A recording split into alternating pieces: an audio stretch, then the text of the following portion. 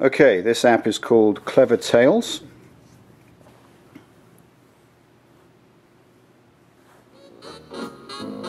And uh, when you open up the app, you'll get um, a couple of choices. Uh, this is a collection of stories, um, about 40 stories for children 4 plus and 7 plus. Now, even has the option for um, parents or educators to send in their own stories as this app uh, develops. It's a, it's a fairly new app.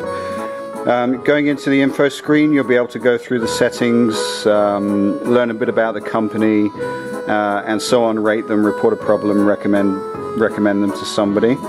Uh, going back out, let's go ahead and uh, open the 4 Plus section up.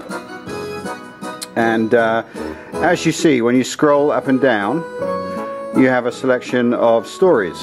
And uh, you can choose any one of these and this one is called Timmy in Trouble. And this is uh, an app that takes you back to when we used to actually read books and not just sit there and listen to them. Um, you can uh, adjust the brightness for the app. You can make it a favorite, so we'll do that so I can show you what it's about. We can also share it, Twitter, Facebook, email, or we can print out the story and we can go back to the home screen. Now you can also go through this. This is this is story six of 21 on the 4 plus uh, page, and if we wanted to go to the next story, we could just go through there and press number seven, Jacob's fingers, and number eight would be how a firefly learned to glow. And like I said, this is a, this is a, an application that actually has children reading themselves. That's that. So that explains the the age uh, age groups of four plus and seven plus. Obviously, for children that can uh, can read or can or can certainly um, sit down with their parents and enjoy the stories as they read it to them. So. The stories are fairly short, uh, which is nice for bedtime, and you basically go through them by scrolling up and enjoying the graphics that are uh, incorporated into each one of the stories.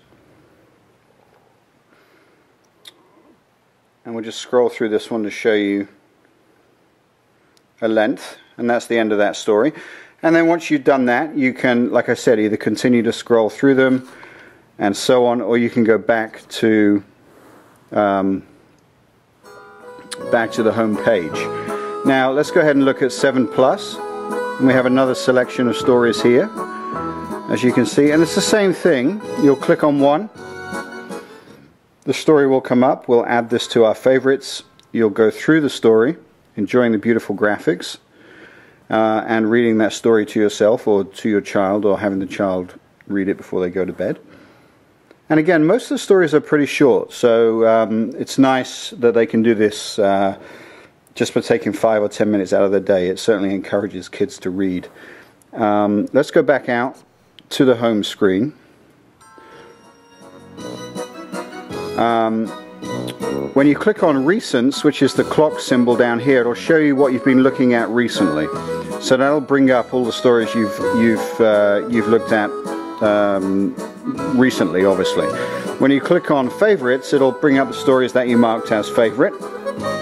You can search. Uh, we don't have any saved searches, but you can certainly search for uh, the stories. Uh, all of your successful searches will be stored here. Start your search now.